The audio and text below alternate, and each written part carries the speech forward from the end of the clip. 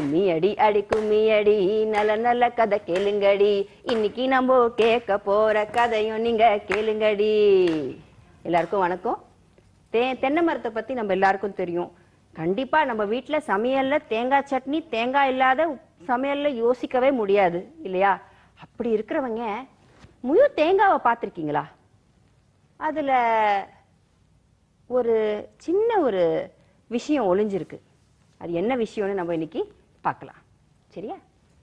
ரொம்ப வருடங்கள் முன்னாடி கேரளா அங்கே ஒரு சின்ன ஊர் இருந்துச்சான் அந்த ஊர் கடலோரமாக இருந்துச்சான் கடலோரம்னா அந்த ஊரில் இருக்கிறவங்க எல்லாரும் முக்காவாசி எல்லாருமே மீனவர்கள் தாங்க.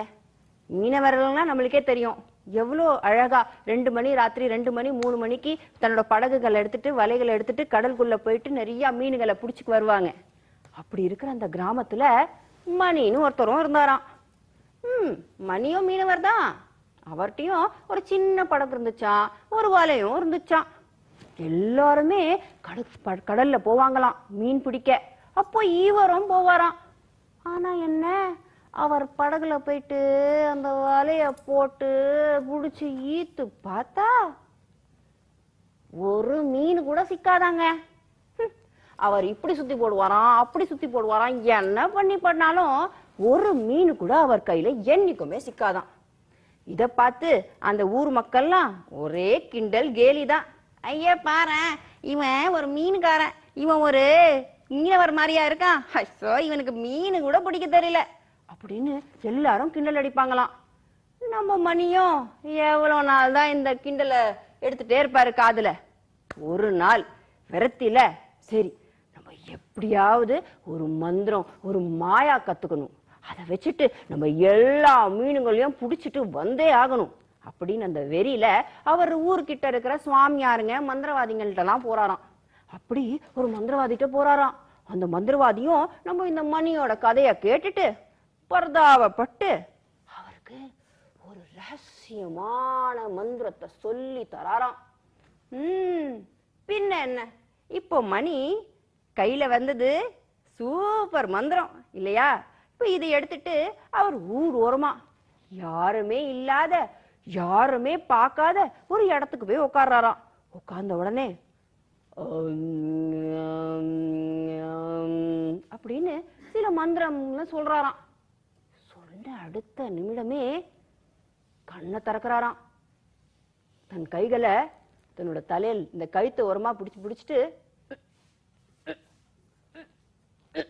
அப்படின்னு நகர்த்தி அப்படின்னு அந்த தலையையே கையில் எடுத்துன்றாராங்க. அப்படியே அந்த தலையை எடுத்து கீழே வைக்கிறாராம். வச்சுட்டு கையை அப்படி வச்சுட்டு அப்படின்னு குரல். எங்கேருந்து வருது? அந்த முகத்துல இருந்தாங்க. அந்த முகத்துல இருக்கிற அந்த ரெண்டு கண்களும் வாயும் பேசுது. கண்கள் அந்த உடம்ப பார்த்து ம் மணி சூப்பர் நீ. போ இப்போ கடல்ல போனேன்னா உனக்கு நிறைய மீன் கிடைக்கும். அப்படின்னு அந்த தலை பேசுதாங்க. தலை. இந்த உடம்பு இருக்குல்ல தலை இல்லாத இந்த உடம்பு. அதுவும் என்ன பண்ணிச்சான்? ராஜா மாதிரி தன் கைகளை வச்சுட்டு நல்லா டக்கு டக்கு டக்கு டக்குன்னு அந்த கடலோரமாக நடந்து போச்சான். அப்புறம் கடலுக்குள்ள போச்சான். நடந்துட்டே கடலுள்ள போயிட்டு அப்படியே உள்ள போயிட்டே இருந்தபோது அந்த கடல்ல இருக்கிற எல்லா மீன்களுக்கும் ஏய் என்னமோ வித்தியாசமா வந்துட்டு இருக்கு பாருங்க. அப்படின்னு ஒரு குரல். எல்லாரும் சேர்ந்துக்கிறாங்களாம். சின்ன மீன் பெரிய மீன் நீட்ட மீன் குட்டை மீன் எல்லா மீனும் சேர்ந்துட்டு ஏ வாங்க வாங்க என்னமோ வித்தியாசம் வந்திருக்கு வந்து பாரலாம். அப்படின்னு எல்லாரும் வராங்களாம். நம்ம மணியும் தலை இல்லாத மணியும் நடுவில் அப்படி போயிட்டு இருக்கிறச்சு எல்லா மீனுகளும் மணியை சுத்தி சுத்தி வந்துருச்சான் அப்படி சுத்தி வந்த உடனே ஒரு சின்ன மீன். ஒரு சுட்டி மீன் நம்ம குழந்தைங்க மாதிரியே தான் ஒரே சுட்டிங்க. அதெல்லாம் ஆ உள்ள போய் பார்க்கலாம். என்ன இருக்குன்னு உள்ள போய் பார்க்கலாம். அப்படின்னு துள்ளி குதிக்குதான். அதுல இருந்து ஒருத்தர் ஏய் அப்படிலாம் போகாதீங்க. அதை பார்த்தா ஒரு மாதிரி தான் இருக்கு. பக்கத்துல போகாதீங்க. அப்படின்னு ஒரு முதியவர் சொல்றாராம். இருந்தும் அந்த சுட்டி மீன் இல்ல இல்ல போகணும் பார்க்கணும். அப்படின்னு துள்ளி குதிச்சுட்டு அது என்ன பண்ணிச்சா? அந்த மணியோட இந்த கழுத்து இருக்கு இல்லையா? அதுல டபக் டபக் டபக்குன்னு ஒன்னு ரெண்டு மூணு நாலுன்னு நிறைய மீனுங்க உள்ள போக ஆரம்பிச்சிருச்சான் அந்த உடம்புக்குள்ள பார்க்க பார்க்க எவ்வளோ மீனுங்க உள்ள போயிடுச்சான் அது மாதிரி ஃபுல் உடம்பு மீன்ல ரொம்பின உடனே நம்ம மணி ஏந்தாராம். ஏந்து குட்டுக்குன்னு திரும்பி மறுபடியும் கரை ஓர இப்படி ரொம்ப ஃபாஸ்டா ரொம்ப சீ- தீவிரமா நடந்து வந்துடுறாராம். வந்த உடனே அந்த கரைக்கு வந்த உடனே அவரு அங்க ஒரு கூடை இருக்கான் கூடையிலேருந்து உள்ளேந்து எல்லா மீனுங்களையும் எடுக்கிறாராம். எடுத்து அந்த கூடையில போடுறாராம். அது மட்டும் இல்ல அவரு கீழே பாக்குறாராம். அந்த தலை அப்படின்னு சிரிச்சிட்டு இருக்கான் இவர் தன்னோட கைகளால அப்படியே இந்த தலையை எடுக்கிறாராம். எடுத்து தன்னோட த- தன்னோட கழுத்தில் அப்படியே ஃபிக்ஸ் பண்றாராம். அப்படியே கரெக்டா வைக்கிறாராம். அ,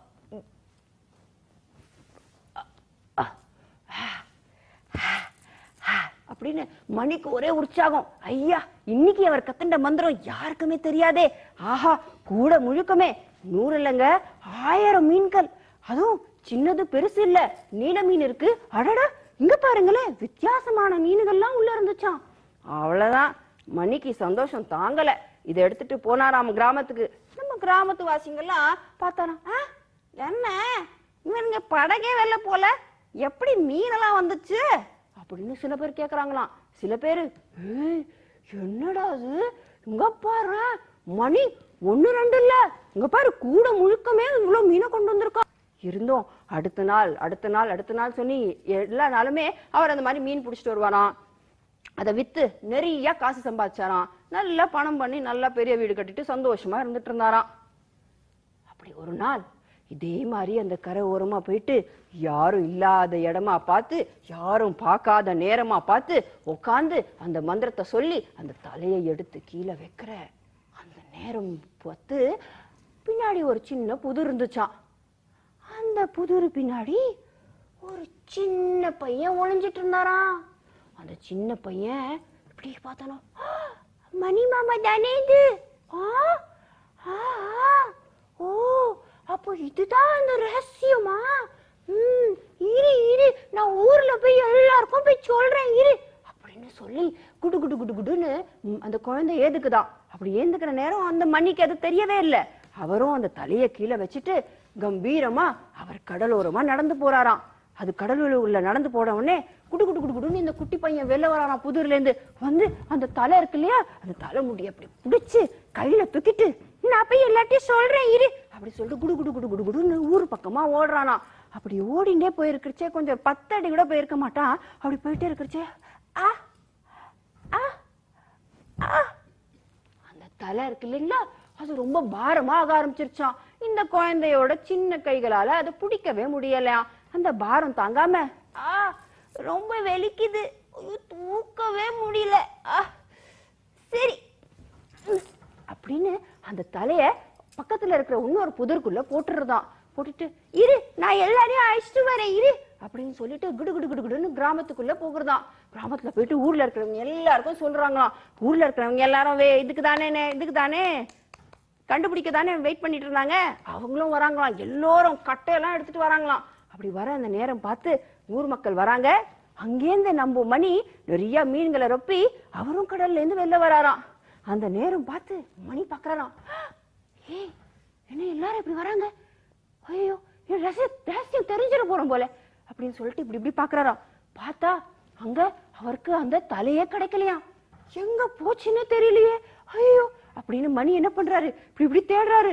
என்ன பண்றதுன்னு தெரியல. ஒன்றும் என்ன இப்படி பார்த்தாங்கன்னா அடிச்சே போட்டுருவாங்க.